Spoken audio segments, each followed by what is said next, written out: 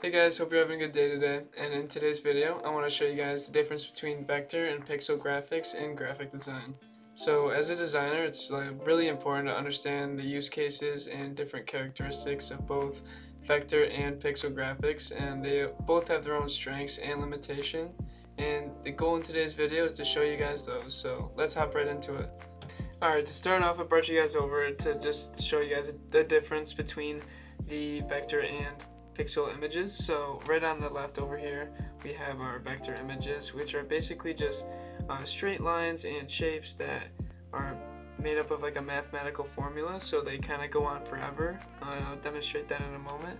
And with the pixel graphics that is on the right, it's made up a bunch of uh, small cubical pixels. Uh, they each have their own predetermined color, and it can be made up of uh, a large amount of pixels, like yeah, 2400 in there, or you could have as little as like 16. It really depends on how high definition the image is. Vector graphics are created of lines, shapes, and curves that uh, overall are made up of a mathematical formula which make it so that you can zoom in or out and scale the image uh, as far as you would like to. So if we zoom into this image right here, like so, as you can see, this line right here is always staying that perfect curve. It's not getting pixelated the further I zoom in and the further I zoom out, those are staying the same. It, it maintains those curves. Now if I were to go over to, to the pixel over here, when I zoom in, you can see these pixels get refined and you can see the individual pixels with the color in each. So that is the kind of the basic difference right there.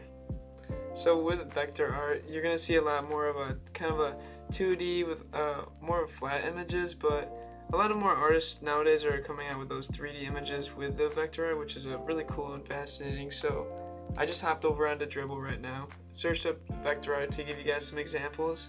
So kind of like that flat, bunch of shading in there, but as you can tell, it kind of maintains the same kind of art style. With uh, pixel images, or otherwise known as like raster images, um, it's made up of a, a grid that has one by one by one by one pieces or squares that hold their own color value as I explained earlier.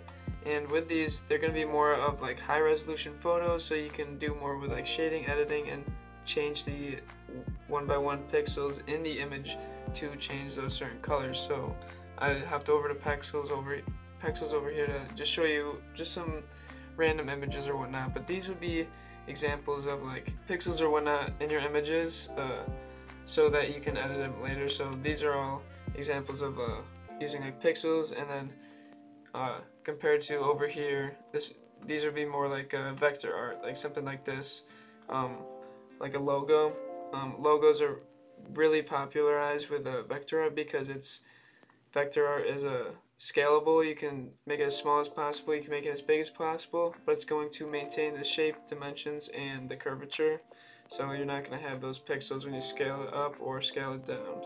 So in summary, it's very important for designers to know the difference between vector graphics and pixel graphics when designing anything in graphic design. So I hope the video helped and if you guys like the content, please consider dropping a like, subscribing, and sharing the content. It goes a long way with helping me put out more content to help you guys in the future, so I appreciate that a lot. So thank you guys so much for watching and I'd love to see you in the next one.